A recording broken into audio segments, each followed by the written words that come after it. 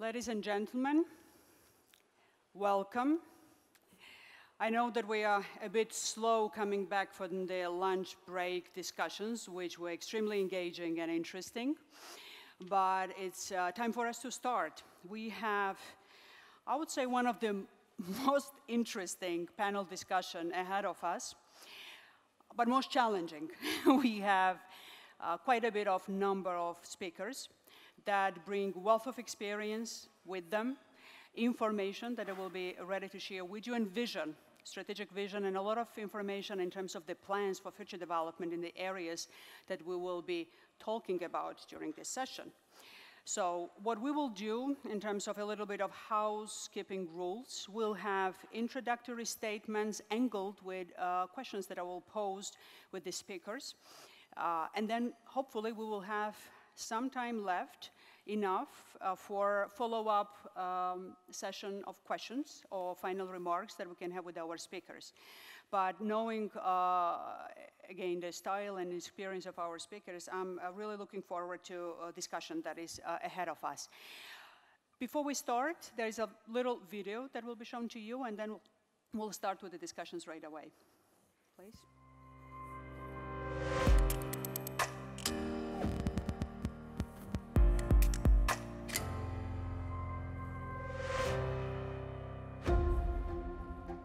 What a dramatic historic example. Post-war France and Germany transcending past enmities to build together the EU. What a dramatic modern challenge. Azerbaijan, Armenia, and Turkey prepared to work together in a spirit of reconciliation and collaboration for the mutual benefit of all. A contribution to prosperity, development, and trans-regional cooperation in the entire South Caucasus and the wider region a crossroad of the European and Asian major energy and transport corridors. Welcome to the panel, The Role of New Energy and Transport Corridors in Eurasian Zone. Well, before approaching the speakers, just a very little brief introduction from my side.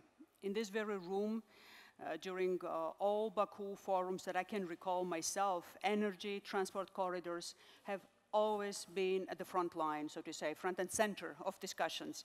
And that was reflective of importance to these issues that have been attached and has been attached by leadership of countries representing this region, by the leadership of Azerbaijan, President Aliyev. And we always had that thought, why is it that the discussion of these issues, and more than that, action that would have been corresponding to the importance of these issues, was somewhat lacking beyond the region to the degree that we would have wished for that to be uh, present, with the exception of countries that have been engaged from the very beginning uh, in uh, development of these projects, energy or transport for that matter. But here we are, uh, after one year of Russian invasion of Ukraine, event uh, that above uh, security and peace and hu humanitarian related crisis hit markets dramatically.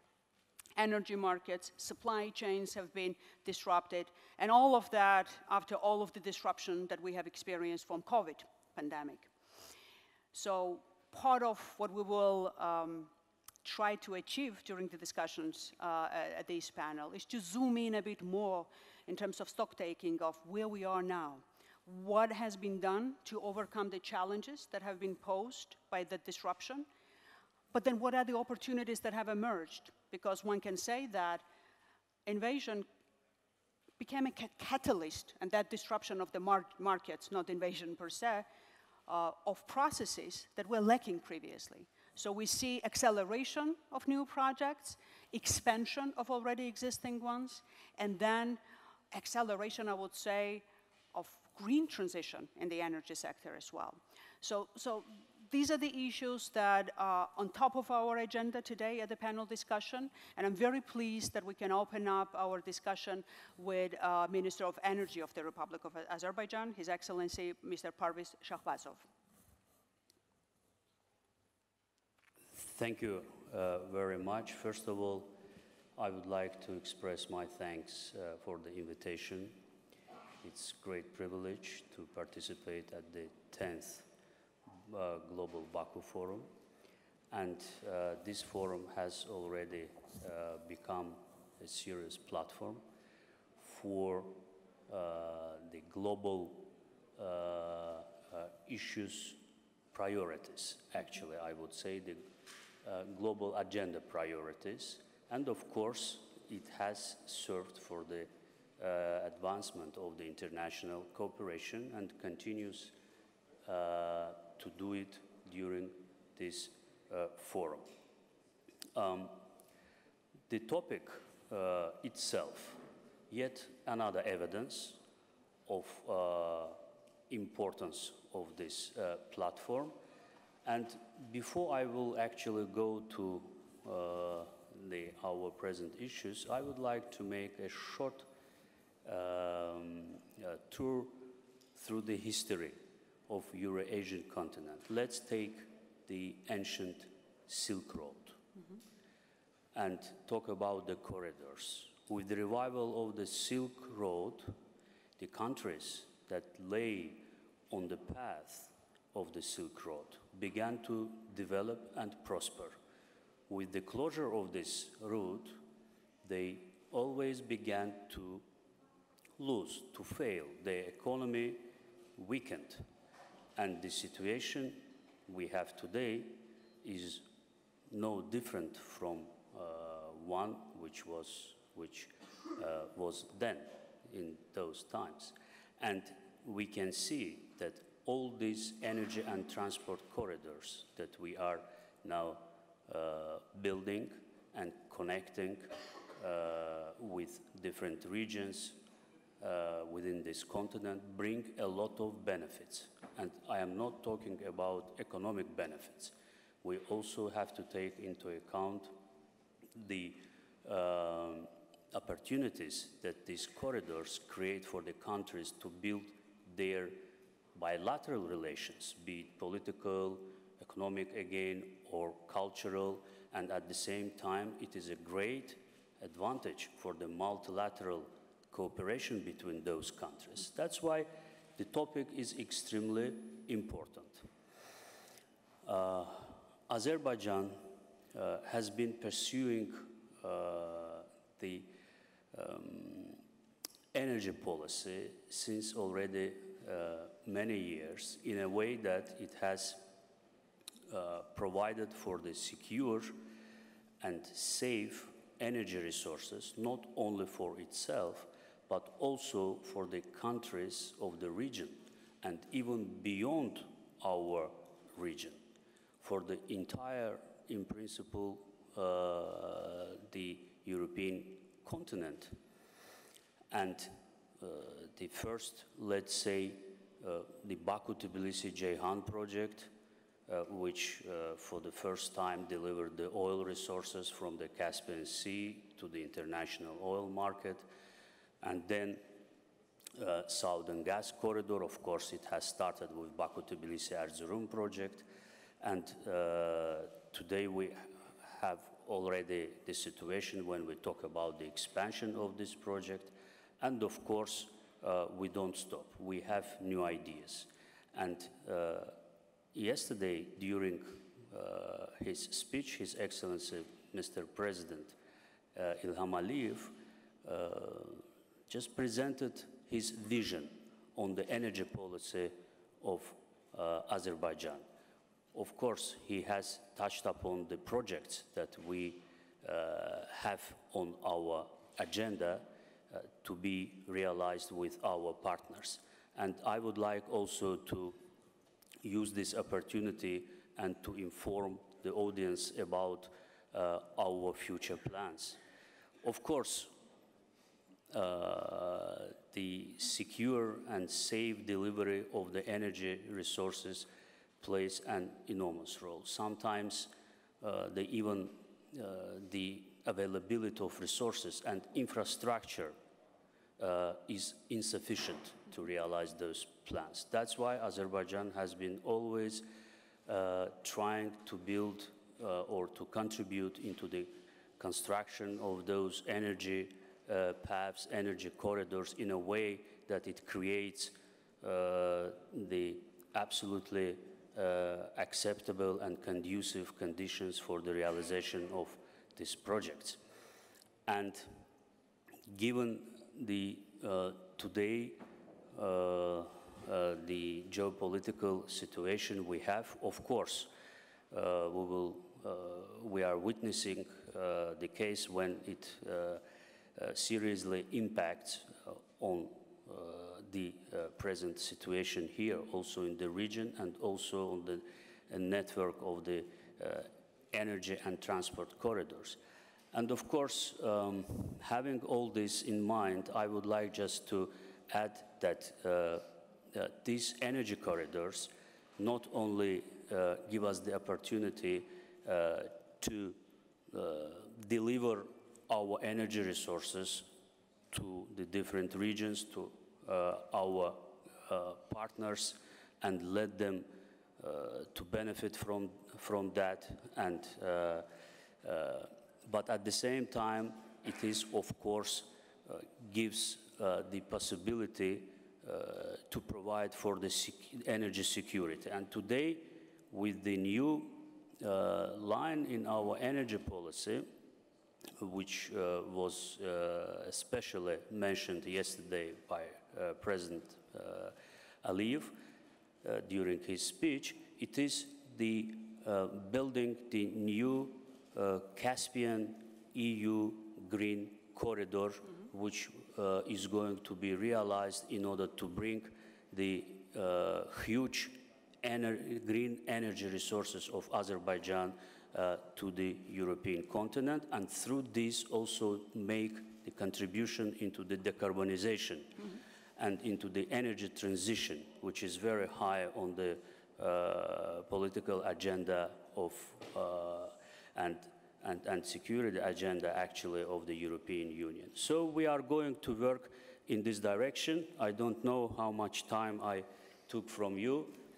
I can, I, can, I can stop now and maybe sure. uh, to continue later on. Th thank, thank you. you. Minister. And I think uh, we all remember uh, that recent uh, visits, relatively recent visits of the President of the European Union here in Azerbaijan, and then that, that statement that uh, recognized reliability as a partner of Azerbaijan in that pursuit of gaining independence and energy security uh, of Europe in so many ways. And, and that rang the bell that we've been waiting for quite some time in this region to see uh, and then to hear the recognition of importance of this part of the world when it comes to the common security, prosperity, and then development of our energy resources. And we'll come back definitely on uh, green and renewables as well, because that's part of the fascinating element of the future. It's not oil and gas only, but Azerbaijan becoming an exporter and transit country as well for green and renewables. Jean, uh, you have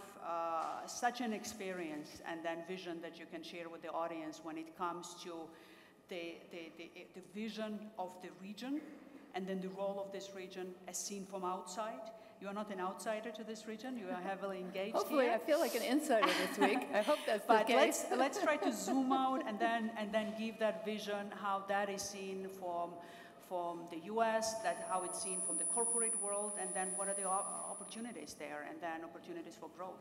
Well, let me take some of that, and then we'll come back if we have time. First of all, I want to build on what Minister Shahbazov said uh, and, and, and go forward.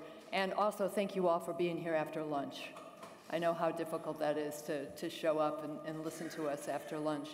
And it, the South Caucasus countries and the Caspian countries are in a very unique situation right now to be able to deal with both the energy crisis and the climate crisis simultaneously balancing sort of the existential threat of the climate crisis with the challenges of energy security has really caused a dramatic uplift in the strategic importance of this region going forward.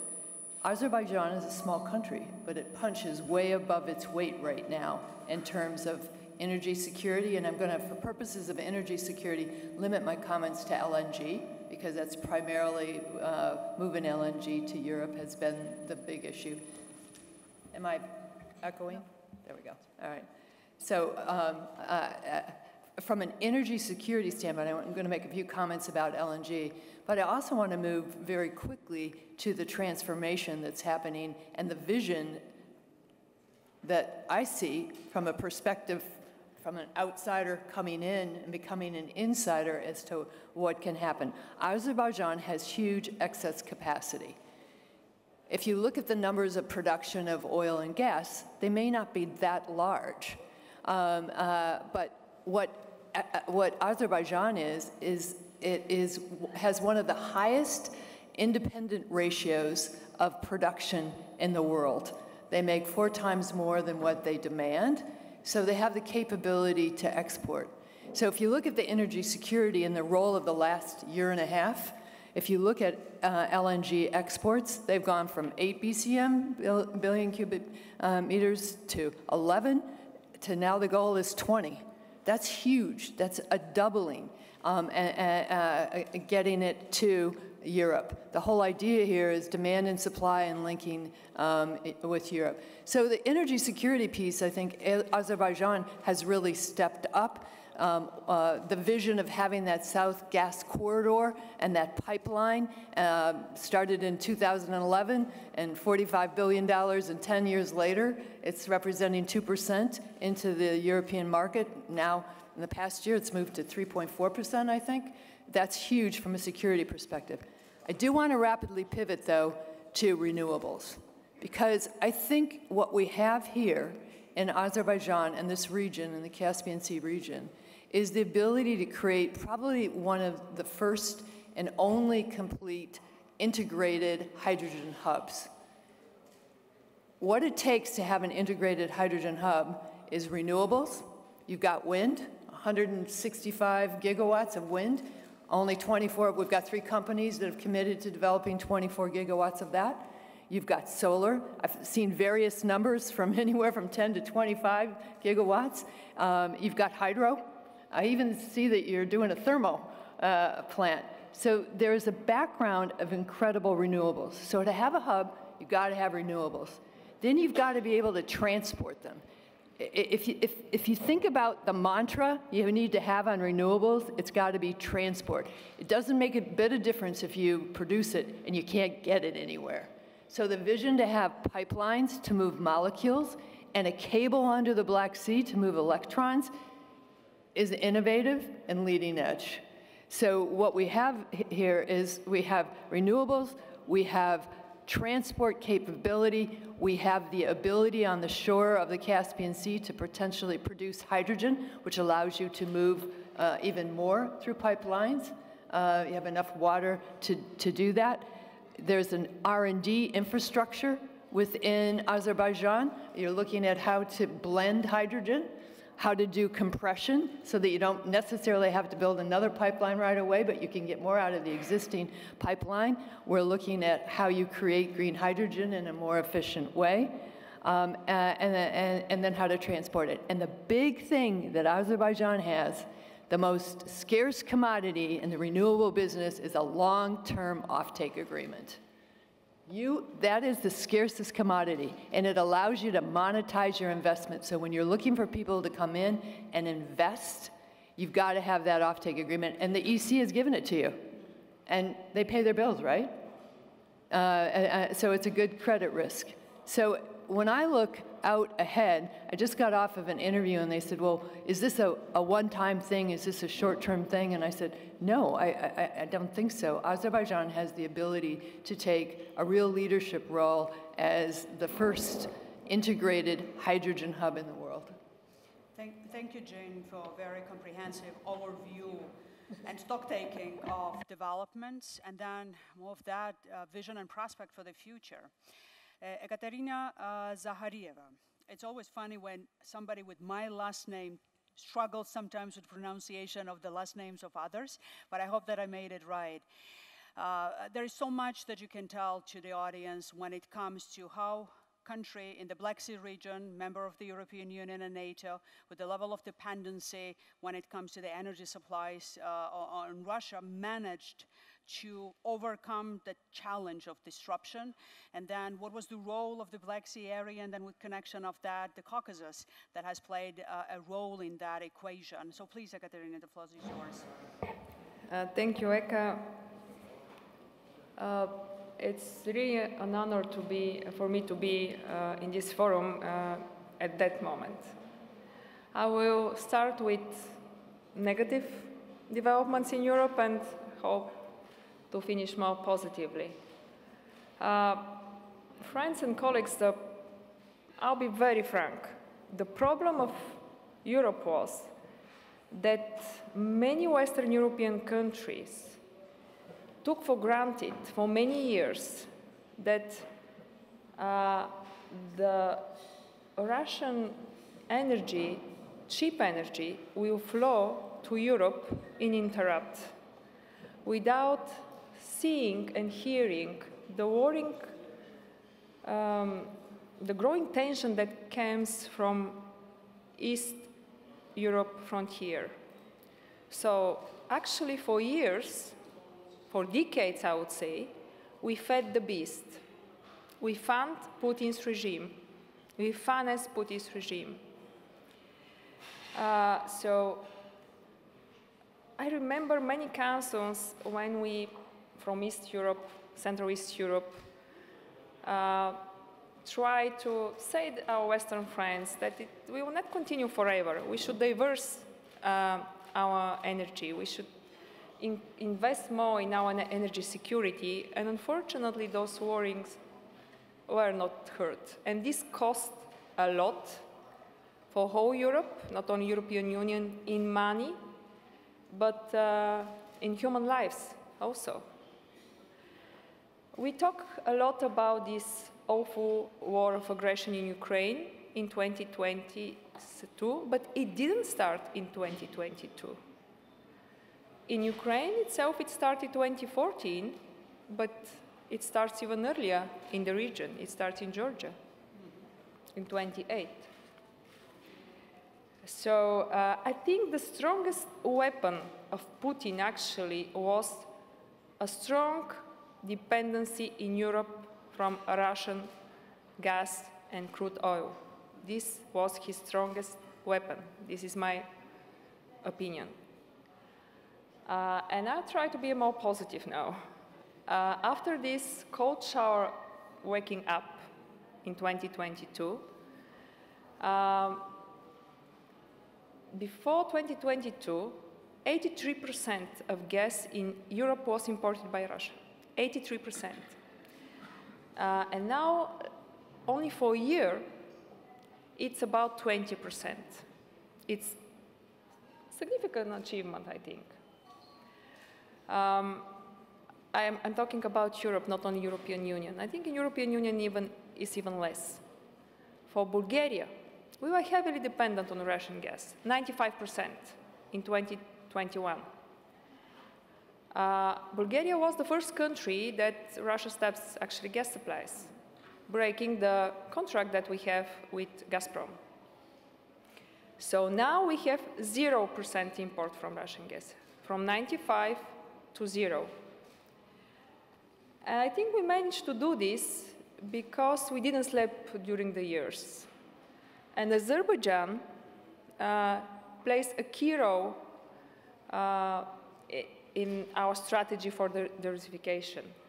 Uh, I was part of the Rosen team, uh, who is a member of Board of Trust of Nizami Ganjavi Foundation, when in 2015, I think, I think Rosen is somewhere here, maybe, I hope I'm not wrong for the, for the year, we signed strategic partnership agreement with Azerbaijan. Uh, and then we invest a lot, as rightly Minister said, because the connection is not only gas or uh, uh, goods, but it's human. It's uh, culture, uh, it's trust. It's trust. Uh, so now one third of consumption of gas comes from Azerbaijan through, uh, to, through TAP. and um, I think, and I hope, that after signing this strategic memorandum uh, in the field of energy with European Union, uh, we can increase even this import. Because I really believe, seeing during the years, that Azerbaijan is safe and reliable partner, not only for Bulgaria, but for the whole Europe. And, um, but we should not stop. And I hope this time, this, this time we will learn our lessons. Because if you see the data, the numbers, the numbers talks a lot. Uh, after 2014, uh, import from Russia decreased dramatically, but it was for a couple of years, two or three, I think, not more. Uh, so I hope that this time we will act clever. Uh, we will never allow to depend on one country so heavily, and we are going to invest more actively. Europe is, yes, is uh, front runner, yes. Everybody learns from Europe in renewable, but we should also learn from Azerbaijan for their plans and their vision, not only to rely that they have gas and oil and crude oil, but also to invest in the future and renewable. So thank you. Thank you very much. You've highlighted uh, quite, quite strongly importance of action that is driven by strategic vision that is taken ahead of the time. So when the critical time comes, you are ready to undertake decisive steps and not to be uh, crippled uh, by inability to act in a very difficult situation. So all the steps that have been put forward as a foundation for that strategic partnership between Bulgaria and Azerbaijan paid off uh, quite, quite well at a time when many, and especially in Moscow, would have thought that you would be cracked in your will and determination to stand uh, by, by common decision of the EU because of that dependency that was viewed as a weapon from Moscow. Um, Ana Birchall, dear friend, uh, I'll turn to you now because I think it's a very logical continuation across the Black Sea area as well to what Ekaterina already mentioned, but from the perspective of Romania. You have been at the forefront of so many strategic uh, processes that have been initiated by your government with, uh, with the partners across the Black Sea and in Caucasus with uh, Azerbaijan. So how would you describe what it took on your end to, to ensure that now you stand on the firm foot, so to say, in the way that you are, based on that strategic partnerships that have been built, and what is the vision for the future, more than what you have already now? Thank you so much, Eka. And firstly, it's a great honor and pleasure to be uh, back in Baku. Uh, I very much uh, uh love being here. I think I've been coming now for five years. Um, obviously, the discussion of today, the topic of this panel, it's crucial because energy is a matter of security and always been like that. And I just want to go, um, you know, pick up the point uh, as uh, you, Eka, mentioned and Ekaterina was mentioned. And look, just um, kindly inform uh, the realities because sometimes uh, it's important to look uh, at the past to learn uh, the lessons in order to build a proper and a good uh, present, but especially a future. So we were among the first um, who actually since 2018-19, we've been arguing on and off the record that energy is going to be used by Putin as a weapon. And I was in office at that time, Deputy Prime Minister, and I was the one uh, arguing heavily against Nord Stream 2, saying that the Nord Stream 2 is going to be really a serious danger for countries in our region, for Romania and um, uh, all the other countries in Central Eastern Europe. And, uh, you know, the argument at that time said, oh, come on, we know better, we understand better Russia, you are wrong. And I said, look, uh, you know, the time is going to prove us as being right. Unfortunately, that was it. So um, Romania, actually, unlike uh, Bulgaria, um, we uh, had, um, since uh, many, many years, a very good balanced in terms of the energy mix. Uh, since 1960s, uh, we went among the only ones in the uh, region that went, for example, on the nuclear with North American technology. We refused to go with the Russian technology, and we we uh, uh, we have the two reactors with the CANDU technology, and we are building now two other reactors. But uh, I want to take this opportunity, Eka, to really mention and stress the critical role that Azerbaijan played during this critical time and the leadership of President Aliyev. Because you know what, um, in uh, critical times, actually, you see your partners and you see your friends. Obviously, Romania has a strategic partnership with Azerbaijan, and we've been very proud of this strategic partnership. Uh, we were among the very first countries in the region who, um, you know, built up this uh, strategic partnership. And, uh, um, you know, this year's, you know, this year, this coming years, um, the energy, the gas coming from Azerbaijan, not just for Romania and our region, but for the whole Europe, actually saved us. That's a reality. And that was the leadership of President Aliyev, who actually stepped in and with no, uh, you know, no uh, hesitation, immediately helped out Europe and countries such as Romania. And we need to ask ourselves, where would we have been this winter without Azerbaijan's help? Where we will be next winter without Azerbaijan's help? And here you have in the panel an amazing person, an amazing minister, the Minister of uh, Energy from Azerbaijan. Uh, he's been heavily involved in another strategic project that is coming from Azerbaijan, Georgia, uh, Romania, and Hungary, is the Green Corridor submarine cable. And you can say, oh, come on, the submarine cable is going to, you know, uh, have the effects, positive effects in 20 years, 15 years, 10 years. You know, I'm, I'm saying just number. Yeah, but in order to benefit of those important effects, you need to build it up today. And uh, it was uh, President Aliyev idea, and we've been working on this uh, for a few years, and now it's just happening. We, um, you know, we had uh, the presidential visits uh, in, in Romania and uh, in Azerbaijan. And personally, I couldn't be more happier to see the efforts of Azerbaijan as being so strategically and critical, not just for Romania, but actually for the, the whole region. Because that's a, a major role, a strategic role that actually was, um, uh, was playing um, during these very difficult times when you see the effects of how energy could be used as a weapon, as it was used. And um, uh, building those corridors, diversification, uh, it is something that we need to do. And I will close up uh, just um, mentioning Shusha. I've been there three times and I uh, commend all of you to go and see it. I was impressed, you know, from one visit to another, the reconstruction of Shusha. And one thing that actually struck me when President Aliyev took us around, and I said, you know what, the main source of rebuilding Shusha in terms of the energy is going to be on the green, uh, green energy from renewable. So I think the lesson that we ought to learn here is about uh, having an, the intelligence to have a, a diversified energy energy mix.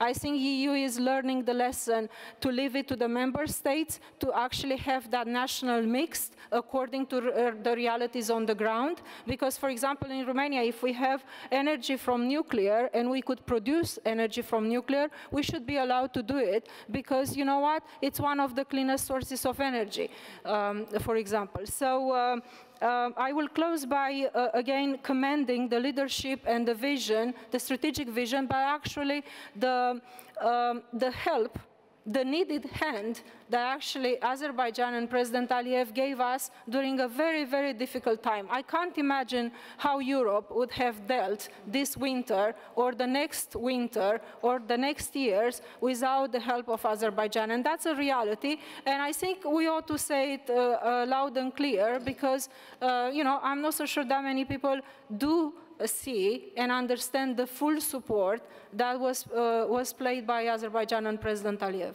Th thank you, Ana. And then there is very important issue that you've touched during your presentation, how technology development and including green energy uh, related developments could be part of renewal, reconstruction and rebuilding of the communities that have suffered so much for so long under occupation. And I cannot but agree with you that uh, every time that I go to Shusha as well, it's so much development you can compare with the previous visit.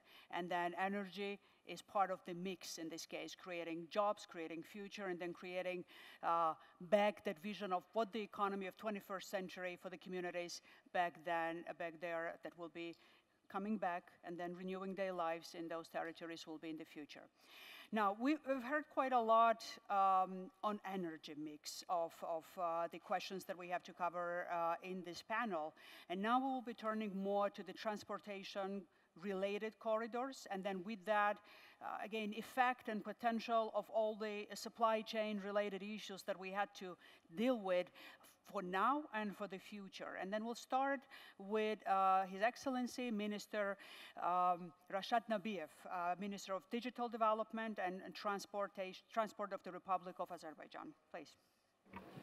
Thank you. Thank you very much. And uh, it's also my pleasure to be a part of such a distinguished audience. And uh, just like you mentioned, the growing uh, complexity and actual interdependence in the global supply chains uh, and the regional events, just like the one we have witnessed several years ago, the Evergreen's blockage of Suez Channel, or COVID-19 pandemic, or the recent regional conflicts have actually boosted the importance of the diversifying the transit routes. And it especially highlighted the importance of the middle corridor and especially the Azerbaijan.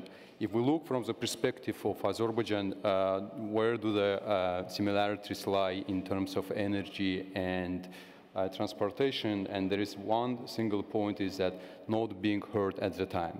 We have been uh, highlighting the importance of the middle corridor for the last 10 years, but unfortunately our Europeans uh, partners, they were just neglecting uh, the importance and strategic advantages this corridor can bring into the game. And it's not a secret that Azerbaijan uh, favorable location uh, serves as a natural bridge between east and west and north and south. But from our perspective, it's not about the geographical location. It's about the visionary leadership that we have had over the last 20 years, and especially when it comes to upgrading the infrastructure and investing the billions and billions of the dollars to our uh, roads and uh, rail lines and expanding the capacity which actually exceeded the local demand. And uh, it's not the uh, by occasion that uh, today, uh, when this demand was there, we were very much ready to meet this demand. And if you look at the numbers, uh, last year we witnessed a tremendous increase in the transit of the goods moving up through our territory. Uh, it increased nearly by 75%, reaching 11 millions.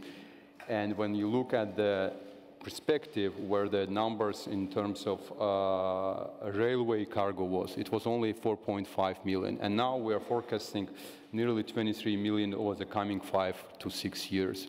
And our further analysis conducted with the Boston Consultancy Group and with our partners from uh, Georgia and Kazakhstan show that with a proper investment into the infrastructure, with a proper cooperation and coordination of our efforts, this number can be actually doubled over the next 10 years. And uh, being very short on that topic, uh, we have been very uh, efficient uh, working with our partners on East and the West uh, to make sure that uh, the increasing demand in, is being met uh, on a timely manner. A couple of numbers uh, are as following. Uh, within the last year, we have managed to bring the efficiency to the already existing capacity. We have managed to bring the number of the days of the rolling stocks travel time from Altynkol, the border of China, to the ports of uh, Poti and Batumi of Georgia, from nearly 45 to 50 days to 15 to 20 days. And actually, the, and, and, that's huge. And we have an another perspective. I mean, uh, after liberating our territories, I mean, everyone talks about and uh, about the Zangezur corridor, and we believe that the Zangezur corridor can be can add actually additional capacity to the capacity of the middle corridor.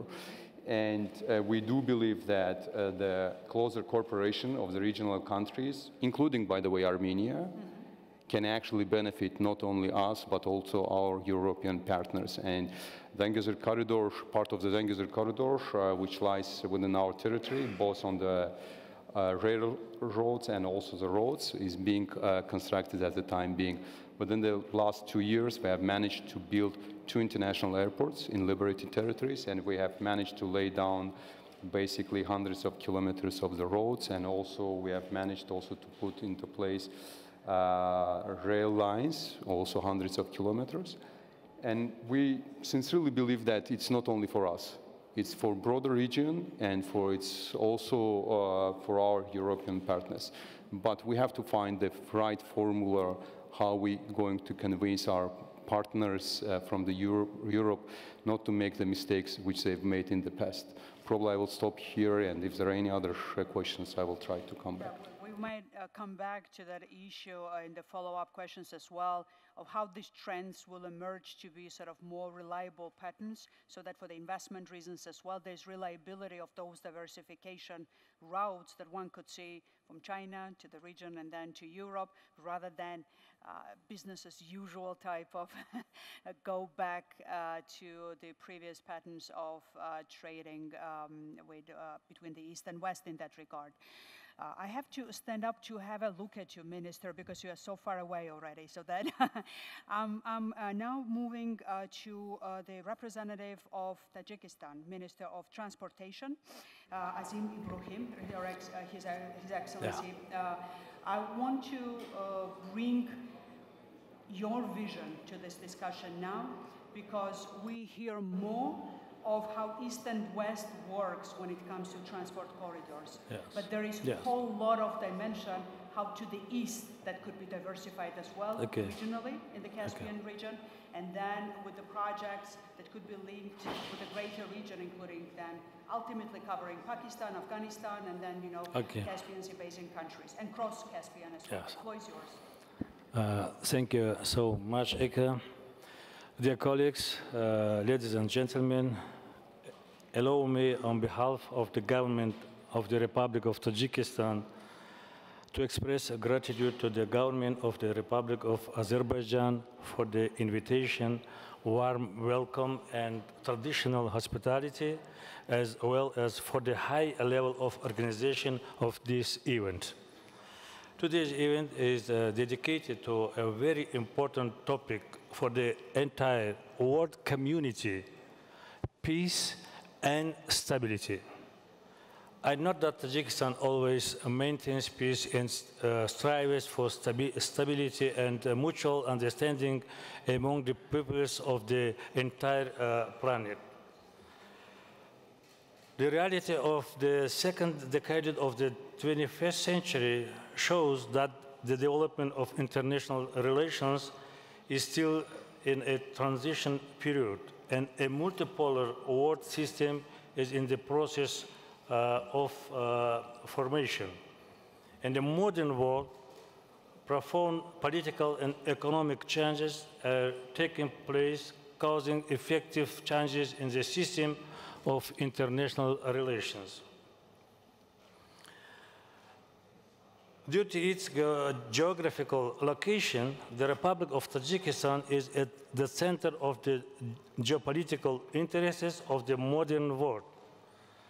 The proximity of Tajikistan to unstable regions, sources of terrorism, extremist training centers, and drug production sites, and the various obstacles associated with this to effective regional integration, free movement of people and unhindered transportation of goods and services, imperfection in real cooperation in the field of uh, rational use of water and energy resources of the region undoubtedly affects its development as a whole. Since the first stage of independence, Tajikistan has been implementing an open door policy. And in order to achieve sustainable development goals, it has uh, uh, identified a strategic direction for development, including ensuring energy independence, ensuring food security, overcoming the communication impasse, and accelerated industrialization. The identified strategic directions are focused on the effective use of opportunities as well as environmentally friendly material resources important for human health, ensuring the uh, unhindered movement of people, uh, people and goods, providing industrial goods and green energy at a low price for the local population and markets of the countries of the region and the world. Accordingly, the foreign policy of the Republic of Tajikistan is developed and implemented taking into account the, the existing global threats and challenges in regional factor. Dear colleagues, the Republic of Tajikistan is an active participant in uh, bilateral uh, treaties and uh, multilateral conventions as well as regional and international initiatives. The development of the transport sector in Tajikistan is a strategic goal of the government of the country. To achieve this goal with the direct initiative of the President of the Republic of Tajikistan, respected Emomali Rahmon, at the expense of budgetary funds, private investments, as well as with the support of international financial institutions and donor countries, 60 investment projects uh, totaling more than 2 billion US dollars. Uh, I answered for your question. Uh, dear colleagues, the development of the trade and economy relation requires accelerating the process of integrating national transport systems into the international transport mechanism, while the main goal of this integration is the development of international transport corridors to ensure the free movement of uh, people, uh, goods, and services. The Republic of Tajikistan has identified priority trade and transit corridors uh, that uh, pass through our territory from east to west, from north to south, and are of international importance. Today, work is uh, actively underway to effectively use the corridor Tajikistan, Uzbekistan, Turkmenistan, Turkey, and Europe. The advantage of which is to provide the shortest route from the border of the People's uh, Republic of China to European countries. In addition, this corridor contributes to the revival of the Great Silk Road and regional economic integration. Uh,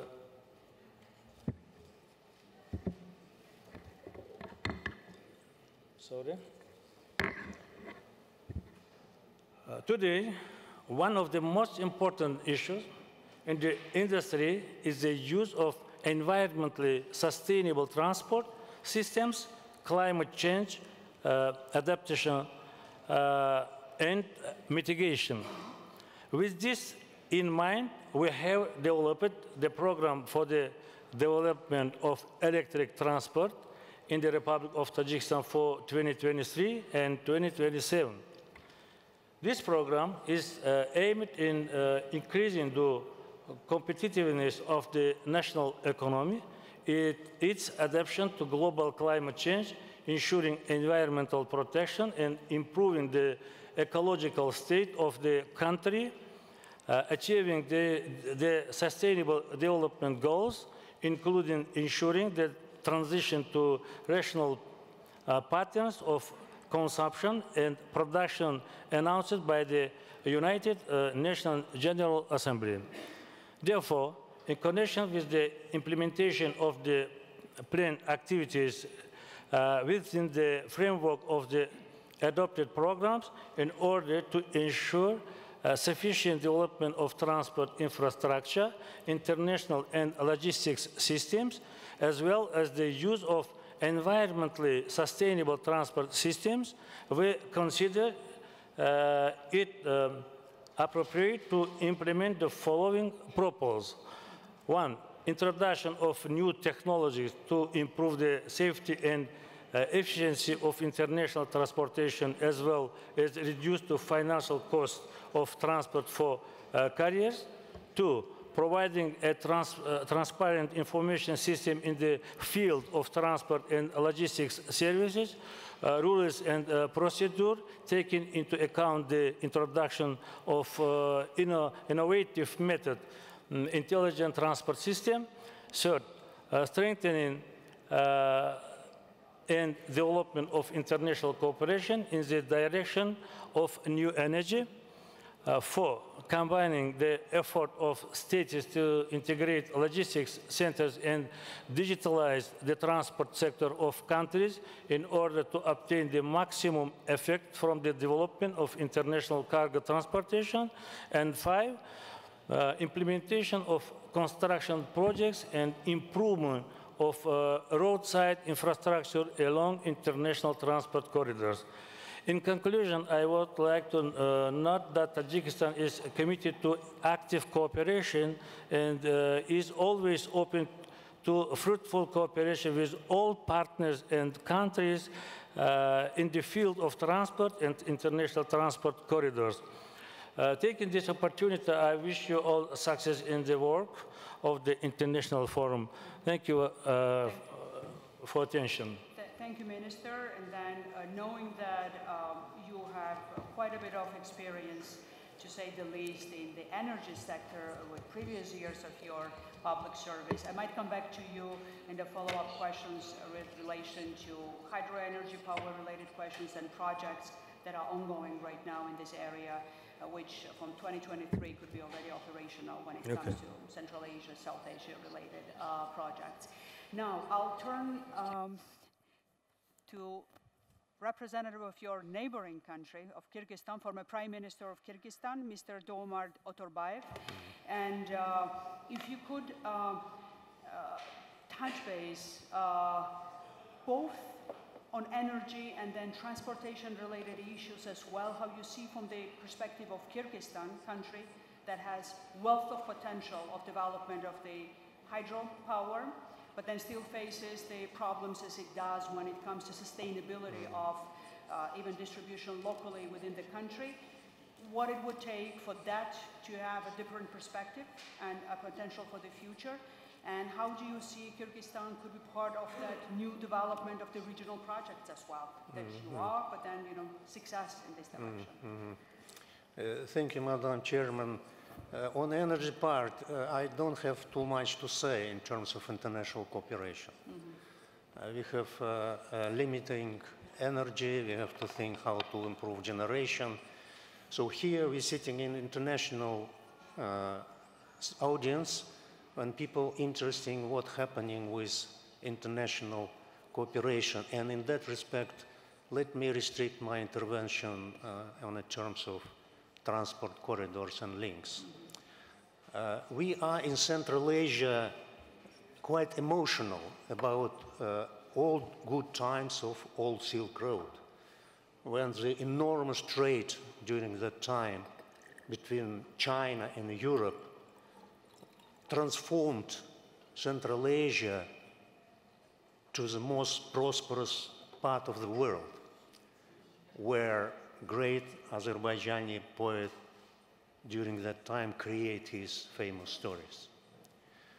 Uh, question is, uh, can new Silk Road will be built with emerging of economic power of China and tremendous demand for trade between China and Europe? So we believe that it can be done, and that is why in, in Central Asia we're really paying enormous attention to this topic, and even I investigated that matter quite in detail, and last month in uh, UK in Routledge published my book on transport energy corridors between Central Asia, China, and Europe. Uh, what's happening, I name it Eurasian Rail Revolution. Uh, what's happening? Let me turn to the numbers. On 19th of March 2011, when first train departed from Chongqing in China to Duisburg to Germany, most of the experts consider this experiment as a joke. What's happening now? What's happening at the end of 2022? That 16,000 fully loaded trains departed from China to Europe and to Europe to China. It means every hour, almost two full trains move along that way. In each hour, full train. 97% of those traffic come through so-called northern route, actually through Russia and Belarus and Central Asia. Even with a slow economic activity in 2022 and the military operation in the heart of Europe, the growth of traffic was again double digits. Let's turn me back to the middle corridor. It's very interesting opportunity to explore it. So, so far the bottleneck of the middle corridor is cost. So just to transport one 20 feet container through the Caspian Sea costs $2,000. And logistic is not yet optimized. But we have observing last two years tremendous growth of the traffic. In 2021, the growth was 52%.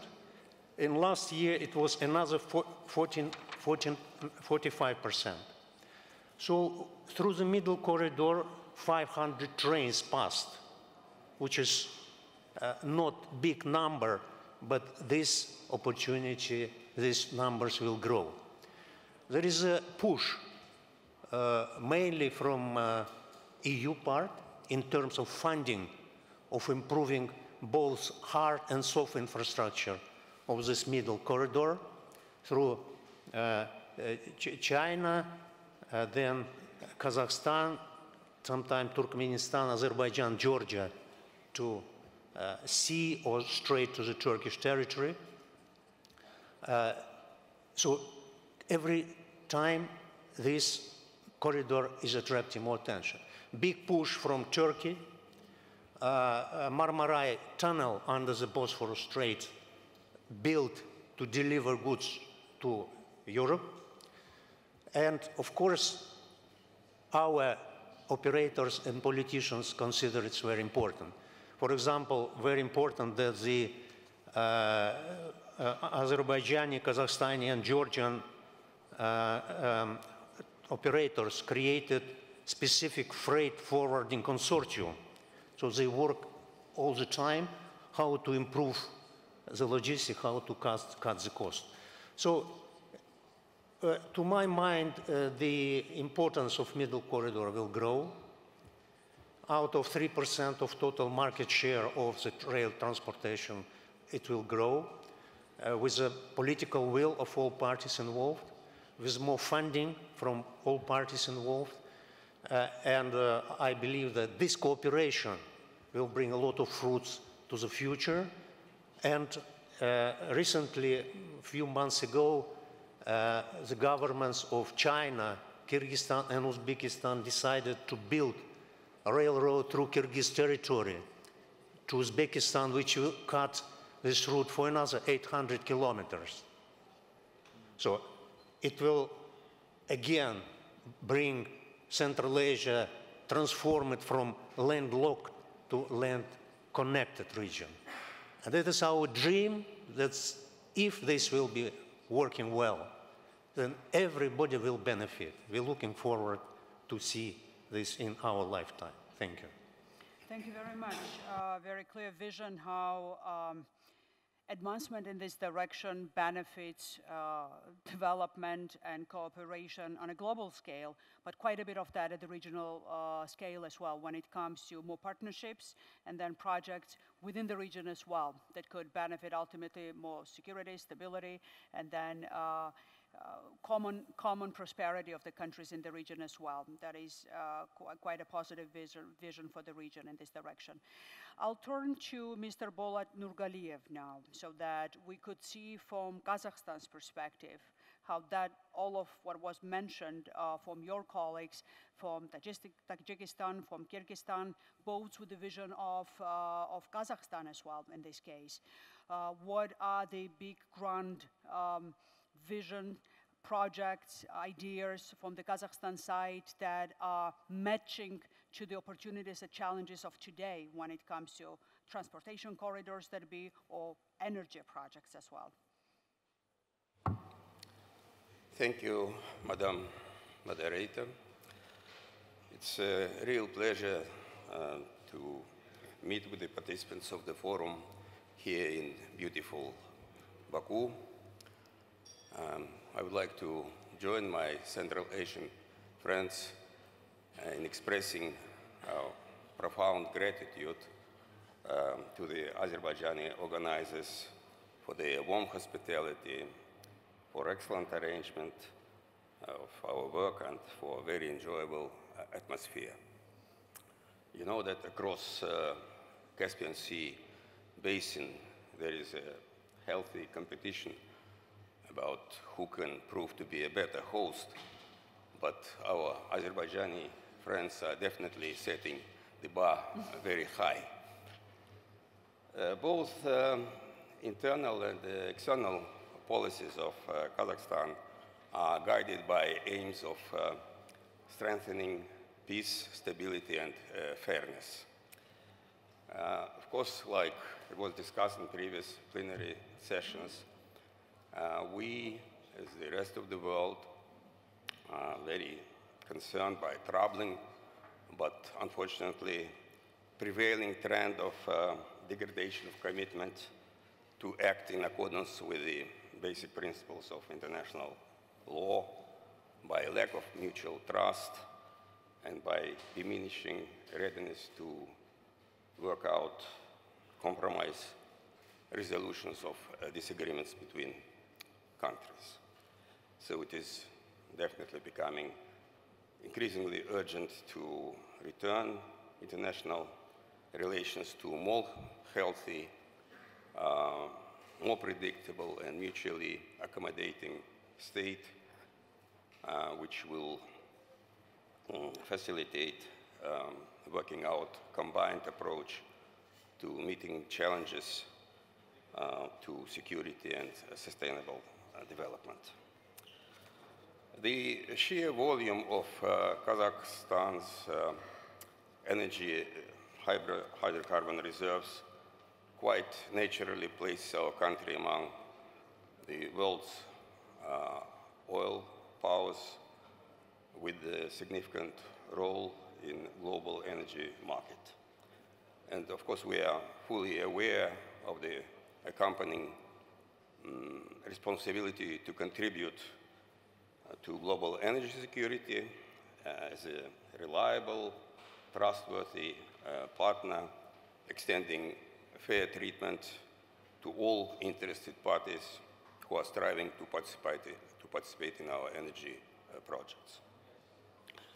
Uh, being a landlocked country and uh, therefore dependent on uh, more favorably located neighbors, uh, Kazakhstan is guided by pragmatic interest to maintain constructive relations with uh, foreign partners, constructive cooperation, uh, foreign partners irrespective whether they are nearby or uh, far away. And um, like most of post-Soviet republics, Kazakhstan is bound to conduct multi-vector uh, diplomacy. And therefore, we see our role as cooperation promoters of builders of uh, bridges.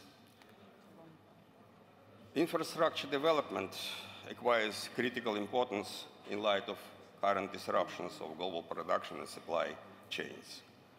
And Kazakhstan uh, pursues its uh, national infrastructure building program called Nurly Zhol, which we believe is totally fitting with the Chinese Belt and Road Initiative, the European uh, Global Gateway, and the American uh, Build Back Better. Uh, just 15 minutes ago, when we already started our session, a news item came that uh, uh, coming May, there will be an economic forum, Central Asia, European Union, where a research report by EBRD on the technical feasibility of the Trans-Caspian um, International Transport Corridor will be uh, presented. So within the uh, framework of Nurly Zhol, our country is striving to develop both domestic and international potential of transport and transit sectors. And of course, recent developments uh, made it necessary to adjust to new realities.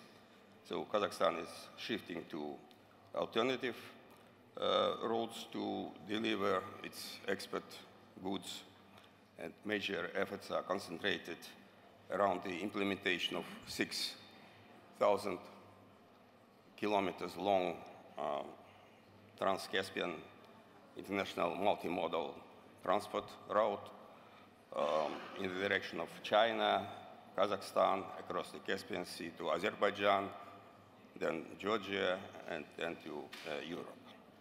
And this uh, Trans-Caspian international transport route involving railway and uh, maritime administrations and logistics operators from Azerbaijan, China, Georgia, Turkey, Poland, and some other European uh, countries is also in works. And it's very encouraging that uh, the Baltic states and uh, Uzbekistan uh, signal their readiness to join the uh, project. Our ambition to become a Eurasian logistics hub is based on the capacity to process more than 20 million tons of cargo annually, uh, as well as the role of the seaport of Aktau and uh, the multimodal complex uh, in the port of Kuryk. Um, sometimes uh, we hear skeptical assessment on the future of the uh, TCR-TR, and uh, a colleague from Kyrgyzstan mentioned that there are some uh, bottlenecks. Kazakhstan is aware of that and working uh, to enhance the capacity so we are planning to construct a container hub and logistics terminal in um, Aktau, a grain terminal in Kuryk, to acquire a dedicated fleet of um, tankers, oil-carrying barges, and uh, ferries, to build a shipbuilding and ship repair plant on the coast, and build additional 1,300 kilometers of railroads, railroads thus getting uh, rid of existing bottlenecks. And uh, also to undertake specific measures to draw in the Caspian direction additional freight traffic carried by trucks. Along with the custom legislation, liberalization aimed at um, reducing cargo processing formalities and construction of a fiber optic line between Kazakhstan on the bottom of the Caspian Sea to Azerbaijan. All the above mentioned is designed to significantly uh, increase the viability and uh, prominence of uh, this route in strategic planning of potential partners. Last year, during um, this official visit to Baku in August, President Kassym-Jomart Tokayev underlined Kazakhstan's absolute commitment to develop transportation logistics sphere of cooperation with brotherly Azerbaijan. And there is no doubt in my mind that our bilateral partnership in building economic, transportation, communication bridge across the Caspian will be marked by specific results, thus uh, moving us uh, to joint implementation of the future described yesterday by President Ilham Aliyev. Thank you. Thank you, Thank you very much. Uh, and um, I just have to mention that uh, all of the uh, small bottlenecks that could be related to regulatory elements and then customs related uh, issues with commitment to the projects from the political angle that we see that is there now from the political leadership. I would say that cooperation in this field is an area where one can streamline quite a bit how much time that be or, or, or easiness of moving cargoes through the countries could actually, at the end of the day, be seen as a result. We end this round of contributions from the uh, speakers with a dear friend, uh, Lazar uh, Comanescu. Uh, I think that you, you have that uh, perspective, which is very unique among us now, to give a bit of a helicopter view from the Black Sea area. So how do you see where we are in terms of countries, uh, as a literal countries in the Black Sea area, but then the greater Black Sea area as we, as we see it, right, regionally. what are the trends that you see uh, have emerged uh, for the past one year as a continuation of the previous uh, projects and then developments, but then where are we moving as a region? Is there a chance for predictability uh, that uh, everybody is looking for when it comes to businesses, when it comes to private investments, and then reliability of, of uh, implementation of the projects that we're talking about based on the security realm as well? Thank you. Thank you very much, uh, uh, dear Eka. First of all, let me start by saying that uh, it's good to be back in, uh, in Baku. And uh, it's uh, not only good, but it's a high honor for me to participate in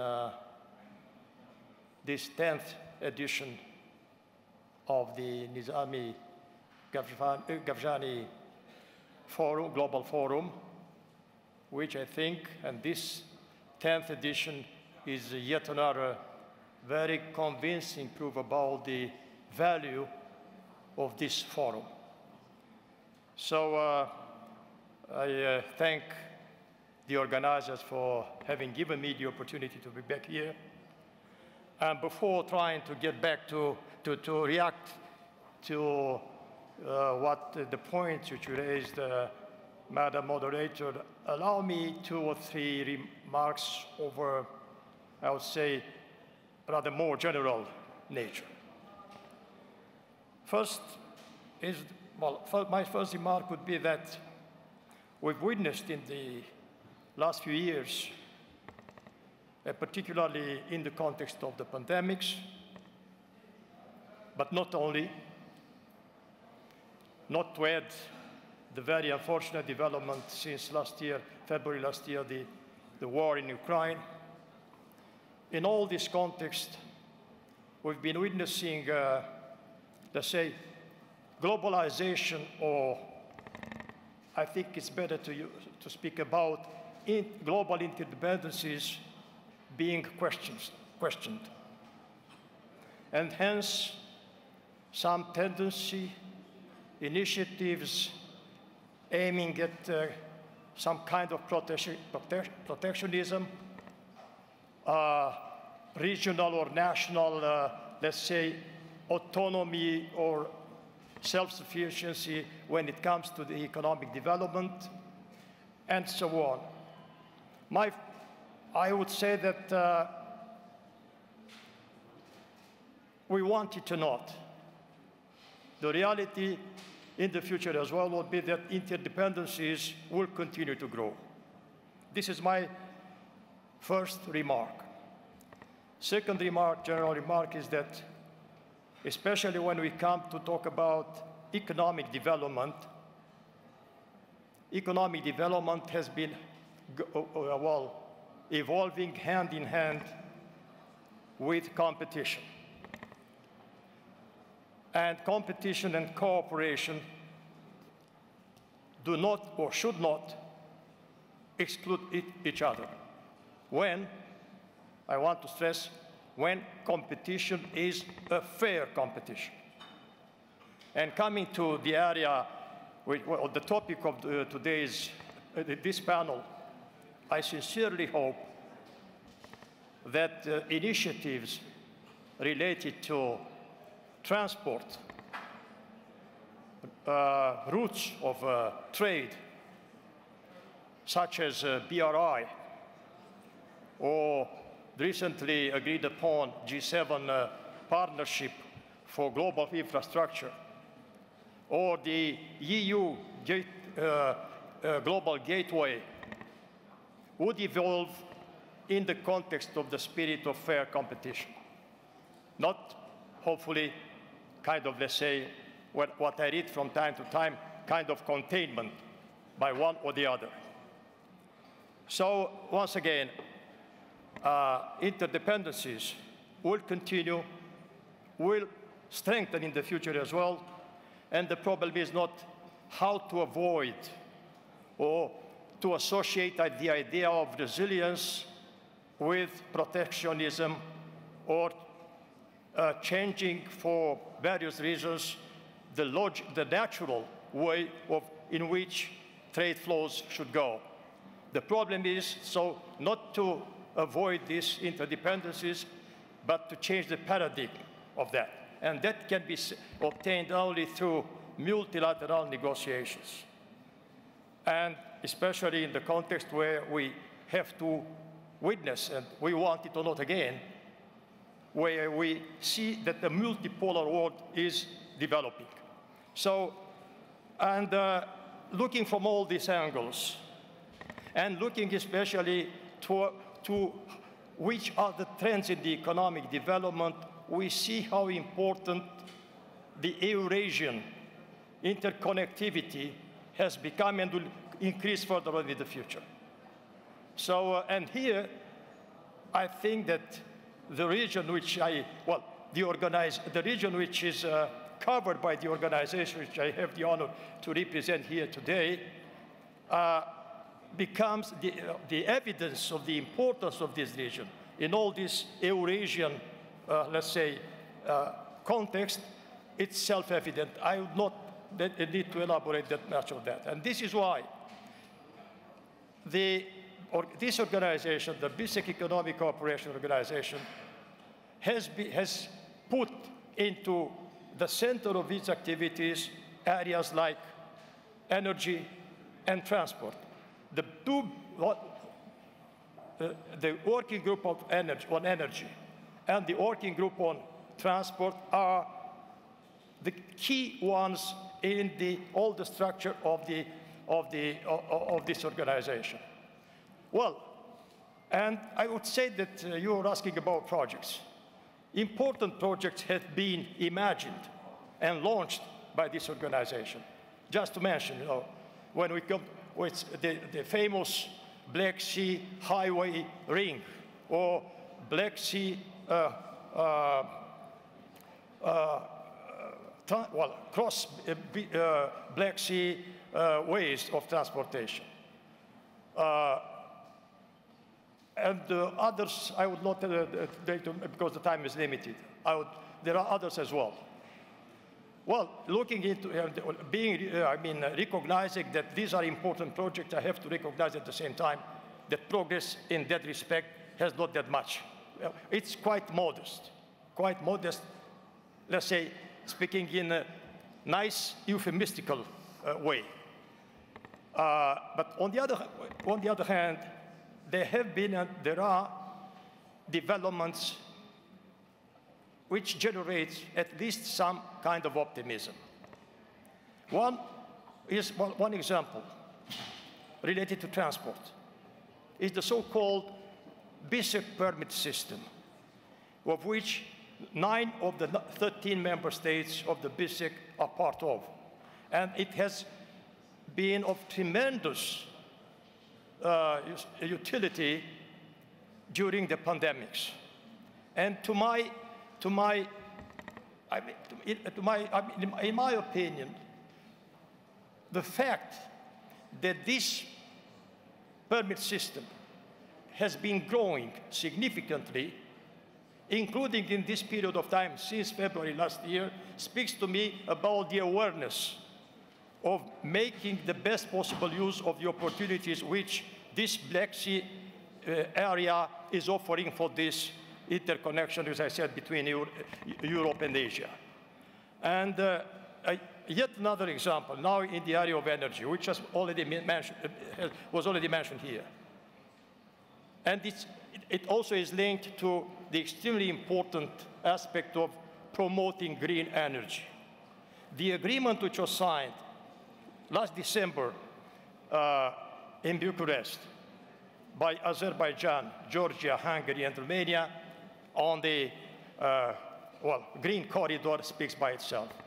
So there are reasons for optimism, but there we have to do whatever we, effort we, we, we may be able to make, and this is something which this organization is striving at. We know, we are aware that there are sensitivities among the countries in the region. But here again, well, not to speak about, I mean, this is not about sensitivities, this is about a very unfortunate development, as I said, I mean the, the war in Ukraine. But there are other sensitivities. The, the, the, the, let's say, positive sign, I see positive signs there as well. And I'm referring to high-level uh, bilateral dialogues in the countries in the South Caucasus, and also, and I hope that it will be a positive contribution, uh, with the participation of countries or uh, actors outside, from outside the, the Caucasus. And so uh, there are, I would say, prospects, and this organization is working for that. And uh, I would stop just to mention one extremely important aspect already mentioned here, the clean energy. And this is something which, this is, there, there exists already an important forum developed in, within, the European, within the BSEC, is that of the uh, Energy Development Center uh, of the BSEC, which is mainly directed towards promoting investment in clean energy. And we are working quite actively on that. With this, I will stop. Thank you very much. Thank you very much. I'm sorry that I, I, stood up in that sense. I'm, I'm looking into the time. Uh, we knew that we had a challenge of time with as many speakers as we have. So what we can do now could, um, not the questions or the follow-up questions that we, uh, we could pose to the speakers and especially from the audience, but have a chance for all of you to have final remarks. You've heard all of you, and then some of the issues that you were not able to highlight during your introductory remarks. And one question that I throw to all of you, uh, and then see if uh, any of one of you could pick it up. I keep wondering when I look uh, to the next winter coming up, this winter was mild everywhere in Europe. Uh, we've had China almost on hold when it comes to economic activities, and it's coming back, uh, which is in itself a good uh, phenomenon, but competition for the energy sources will be much higher. So that when we speak about reliability of price and then uh, sufficiency of the energy supplies, and with that reliability of uh, what the winter will hold for countries that will be still in a challenging mode when it comes to prices, inflation, and then political sensitivities. How do you see that? Are we placed all to tackle the challenge? Are we ready to count on sufficient investment in the areas that will bring more infrastructure and possibilities for the logistics and the transportation as well? Will there be sufficient money and then political commitment to look into that?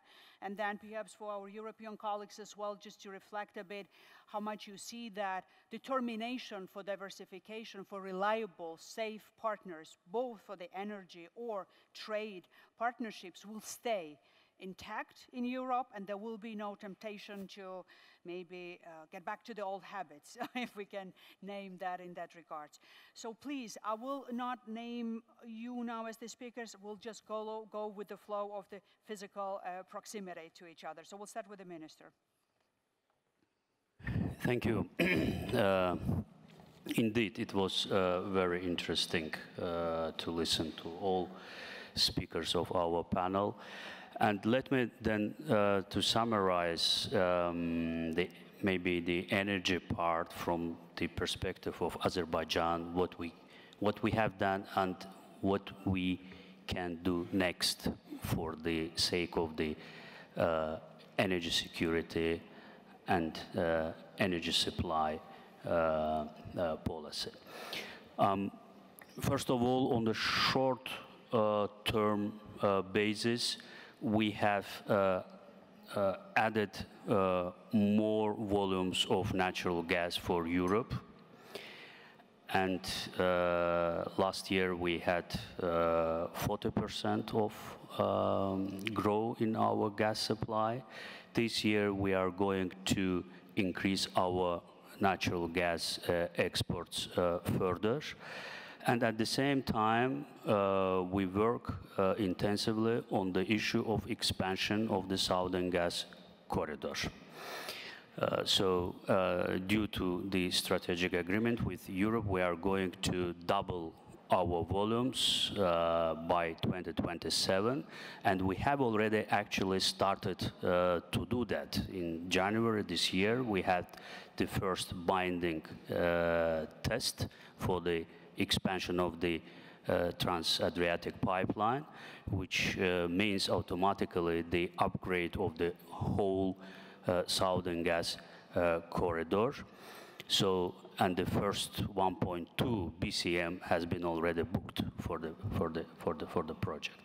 So in the uh, this in the in the mid-term, of course, we are going to uh, continue our dialogue with our partners in Europe uh, for the perspective of the expansion of the SGC, and uh, we are holding now uh, the consultations with more than 10 countries, actually with 14 countries. And with some of them, we have already signed some uh, preliminary uh, papers, which are actually the MOUs, which actually already define uh, the our future cooperation. With others, we continue this to do. And on the long term, we, as it, it has already been um, uh, discussed here, we started to realize this um, uh, full lateral, at least at the beginning, full lateral uh, project of, uh, let me say, to call it of the, uh, the project of the 21st century, because it's going to deliver from the Caspian Sea the huge resources uh, of green energy in the form of electricity, green electricity, or the green gases uh, to the European continent. So connecting Caspian with the European Union. And let me also call that project as a green corridor. And of course, uh, it is not uh, the, uh, the, the, simple uh, issue, the issue, and we are we have already started to work very intensively with our uh, partners on that uh, project. The first uh, meeting of the ministers took place here on the 3rd of February. The next one is going to be in uh, Tbilisi soon, and we working hard on that issue. Another, uh, the corridor, which actually is going to be as my colleague, the uh, Minister of Transport, uh, uh, Mr. Rashad Na, um, Nabiyev mentioned, uh, Zangezur project is going to be the transport and at the same time we see this uh, corridor as an energy corridor which will create additional opportunity to connect mainland with Nakhchivan and then to have access to the uh, Turkish energy market, and from there, as Turkey is the member of uh, the part of the ENTSO-E, so to reach again uh, the European energy zone. So these are uh, our plans that are actually very high on, on, our agenda. Unfortunately, due to the time limit, the limited, I will stop here. Thank you. Thank you. Uh, all right, okay. Uh, uh, there's so much to say, but I'm going to pick an area that I'm probably unique on this panel, and that's the private sector. Mm-hmm. And what, what does the private sector look at? And I, I've learned so much today. It's been very interesting. But it's transport, offtake, and manufacturing. Mm-hmm. And uh, focusing on transport is absolutely key. If you can't get things moved, if you can't move it, then you can't use it. I used to say logistics will eat your strategy for lunch. So you can have the best strategy in the world, but if you screw up your logistics and your transport, you screw up your strategy. So transport, so I, I, I learned a lot from Tajikistan. Um, the, the need for smart logistics is key. Um, Iran, I think, the second largest supply chain and transportation operation in the world if you don't have smart logistics, you're, you're dead. So continuing to support. And Ana, I strongly support your comment about you've got to start now. You, in 2011, you started the Southern Gas Corridor. It paid off in 2021, and look what you needed in 2021. It was a home run. So, Minister of Transport from Azerbaijan, that vision and that leadership we need. Um, secondly, offtake We've got that. We've got it. Uh, it becomes a mechanism to make Azerbaijan a premium location for investment. And that's what you want. When we met with the president, he said, now the issue is how we fund all this. You fund it by being a premium location for investment. And I've just got to make a comment on manufacturing because I missed that. In this hydrogen hub that can exist in Azerbaijan, manufacturing is key. If you're going to have wind, and wind is the anchor in Azerbaijan, you've got to manufacture turbines where you're going to use them. In the last 18 months, logistics costs for turbines have gone up 400%. They represent 10% of your costs. Think about one of those big turbine blades. How do you think those get moved? It's very expensive. You got to build them where you're going to use them. So I just say um, transport, offtake, and manufacturing. Thanks. Thank, you, John. Uh, Eka, I'll be very, very, very short. Uh, you are right. The winter was uh, the warmest, maybe, I don't know since how many years. Uh, the reliability of the Azerbaijan as a partner, their fast reaction saved us. Uh, but we should invest more. What we have done uh, during the years, uh, built interconnectors with all the neighbors, start uh, um, building interconnector with Serbia, which was missing, the only one was missing, uh, became a shareholder um, three years ago, actually, in LNG terminal uh, Alexandroupolis in Greece. We expect the construction to, to finish at the end of next year. We, uh, of course, are in permanent contact with uh, our Azerbaijani friends uh, to increase import from Azerbaijan if it's possible. And um, the Bulgarian um, the company signed a contract with the Turkish counterpart uh, for access to uh, free LNG terminals. So we should act now, not to suffer later, as uh, it was the case last year. Thank you. Thank you, Minister. Well, uh, I believe uh, there are lessons learned from the last year and specifically for, for last two months of this year uh, for all the players in the middle corridor. And the first and most important thing, we cannot be opportunistic. We have to play in the longer run. There, last year, there has been several attempts to increase the tariffs, uh, to be very much opportunistic. And because the businesses are being managed by the expectations, especially the transport and logistics businesses, and they, anyway, they will find the alternatives. So we have to be uh, clever in getting together and harmonizing our tariff policy, uh, in uh, bringing down the, all the uh, uh, bureaucratic hurdles that we are posing in front of our players, and also coordinating all our efforts when it comes to the debottlenecking the infrastructure shortcomings that we have. And everything which I've mentioned so far that comes to this one single point, which is about the cooperation and the collaboration. And I believe we all together, uh, if we get together, that's the case at the, at the time being, we can make our uh, corridor both effective, which is the case now, and also efficient for all the players. It's not only just delivering the goods, but it's also a matter at what time, at, at what price you're delivering the goods. Mm -hmm. Thank you very much. Uh, in uh, 25 years, uh, more than 50% of world GDP will be produced in Asia. Uh, our countries are in between, and we will be part of this enormous growing potential. So we need to create all kind of links between great leading power, powers like China, India, Europe, and play significant role in connecting them. Uh, so I believe that the revival of the new great Silk Road is not far from us. In terms of middle corridor, uh, I want to say that I, I feel that it will bring very big success. Uh, not only because of uh, kind of landscape, geography, politi political considerations, uh, it will be not only transport connectivity or energy connectivity, it also will add to it emotional connectivity.